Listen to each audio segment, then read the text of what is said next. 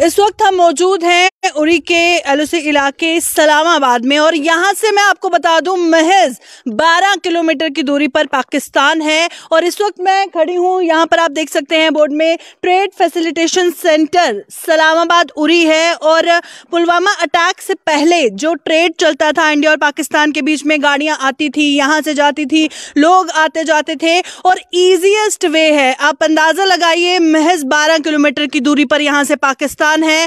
और अगर बात करें 2014 में जो पुलवामा अटैक हुआ, उसके बाद ट्रेड बंद हो गया, इंडिया पाकिस्तान के बीच में दूरियाँ शुरू हो गई, पर उसके अब काफ़ी वक्त हो गया है। और हर बार जो लोग हैं, लोकल्स हैं, उनका ये कहना है कि हमें फ़ायदा होता था। जब ट्रेड वहाँ से यहाँ यहाँ से वहाँ होता तो हमें फ़ायदा होता था और ये जो ट्रेड फैसिलिटेशन सेंटर सलामाबाद है, इसे दोबारा से शुरू करने की ज़रूरत है। मेरे साथ इस वक्त एक लोकल मौजूद हैं, उनसे बात करेंगे, ज़्यादा जानकारी उन्हीं से लेंगे।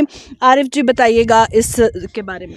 ये जो ट्रेड फैसिलिटेशन सेंटर है, ये सलामाबाद उड़ी में है प्रोबेबली जो आपका चेक पॉइंट आता है, उसके पीछे थोड़ा ये बहुत फंक्शनल रहा 10-12 साल इंफ्रास्ट्रक्चर आप देखिए यहाँ कितना बड़ा और इसके साथ साथ जो कारवान अमन चलती थी बस यहाँ इस रोड से उस चीज़ से भी काफ़ी फ़ायदा मिला। यहाँ के लोगों को टूरिज़्म को बड़ा बूस्ट मिला था। और ज़्यादा यहाँ के अगर आप बात करें इस ट्रेड फैसिलिटेशन सेंटर की वहाँ से गाड़ियाँ आती थी यहाँ यहाँ से वहाँ जाती थी उस चीज़ से क्या होता था यहाँ के जो लो, लो जो लोकल लेबर क्लास है उसको ज़्यादा बूस्ट मिलता था। और उसके साथ साथ जो लोग आते थे वो स्ट्रेट फैसिलिटेशन सेंटर को देखने ज़रूर आते थे कि वहाँ से क्या यहाँ आता है यहाँ से क्या वहाँ जाता है। तो उस चीज़ से काफ़ी लोगों को यहाँ फ़ायदा भी हुआ लोगों ने अच्छे खासे पैसे भी कमाए और लोगों की ज़िंदगी जो कहीं ना कहीं अब ऊपर उठने वाली थी कि दो हज़ार चौदह का पुलवामा अटैक होगा। आपको खुद खुद पता है, चौदह फरवरी को उसकी भी जो है एनिवर्सरी वो भी है।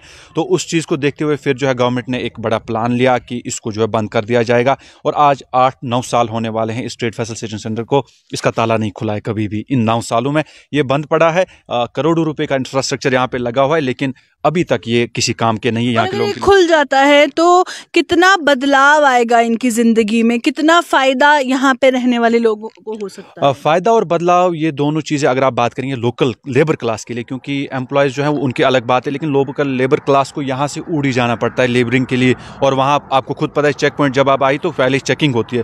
तो उस चीज़ को मद्देनज़र रखते हुए यहाँ के लोकल लेबर क्लास को बहुत फ़ायदा मिलेगा क्योंकि हज़ारों की तादाद में माल बरदार गाड़ियाँ वहाँ से आती थी वहाँ से बहुत कुछ कपड़े आते थे प्याज आते थे।